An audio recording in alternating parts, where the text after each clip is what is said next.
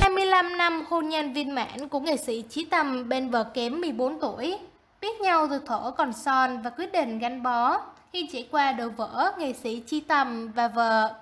Minh Tuyền biết trân trọng những gì đang có hạnh phúc trong an phận. Nghệ sĩ Chí Tâm sinh năm 1952 ở Trà Ôn, Vĩnh Long. Thời trẻ ông nổi tiếng đào khoa cùng với cuộc hôn nhân với danh ca Hương Lan. Năm 1978, sau khi kết hôn, ông theo Hương Lan sinh gia đình vợ ở bên Pháp. Cuộc sống xứ người khiến họ dần xa cách. Đến năm 1982 thì chia tay. Theo Chí Tâm, hai người đã hết duyên. Chuyện tan hợp là lẽ thường ở đời nên không quá nặng lòng. Sau Hương Lan, nghệ sĩ gọc cội từng trải qua một cuộc tình khác vẫn không đi đến đầu. Năm 1996, Chí Tâm về nước và vô tình gặp lại Minh Tuyền. Người ông xem như em gái do gia đình đôi bên thân thiết từ xưa. Chúng tôi như có Chúng tôi như có nợ duyên trời định, gia đình hai đứa thân nhau từ xưa, toàn gọi nhau là anh chị xùi. Trong khi chúng tôi lấy người khác, nghệ sĩ tâm sự với phóng viên, quen từ thổ còn son, đến ngày gặp lại cả hai từng trải qua đồ vỡ hôn nhân. Nghĩ đến tình xưa, Chí Tâm quyết định xin cha mẹ hỏi cưới Minh Tuyền vì được thì anh ở, không được là anh em. Minh Tuyền vẫn bất ngờ lãnh ngại ngùng vì không nghĩ được Chí Tâm, người mình luôn xem như anh trai hỏi cưới. Trong khi đó, ba mẹ đôi bên rất vui, luôn mong điều này từ xưa. Chí Tâm viết riêng bài song song quê ngoài từ con sông Cha Ôn. Tăng vờ với lời lẽ tha thiết. Chồng về vợ cũng về theo, có chồng có vợ dễ bề nói năng.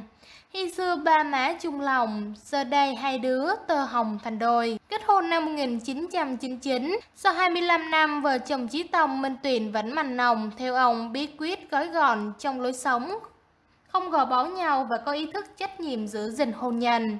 Vợ chồng Chí Tông sống tự do, thoải mái. Minh Tuyền không làm nghệ thuật nhưng rất hiểu, chia sẻ và tạo điều kiện cho chồng. Chẳng hạn như khi ông đi dị, bà hay lên là các khán giả lắng nghe ý kiến hèn chề rồi về nhà nói lại với ông.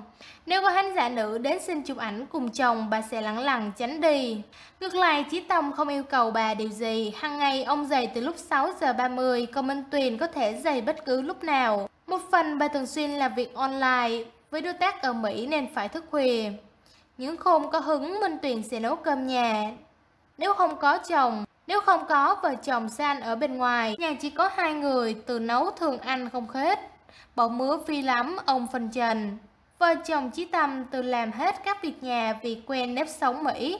Không có người giúp việc, họ thấy tuổi nào từ vệ sinh sắp xếp nhà cửa, họ thấy tuổi này từ vệ sinh sắp xếp nhà cửa vui hơn. Sống độc thân nhiều năm, rèn chí tâm sự tự lập. Cuộc sống độc thân nhiều năm rèn cho chí tâm sự tự lập, biết lo cho mọi thứ và tự lo cho bản thân. Khi Minh Tuyền xuất hiện và chăm sóc nhắc nhở từng trước một, ông tìm lại được cảm giác đã quên từ lâu. Nếu không vướng bận công việc, vợ chồng ông lại rủ bạn bè đi du lịch, đó đây tận hưởng cuộc sống.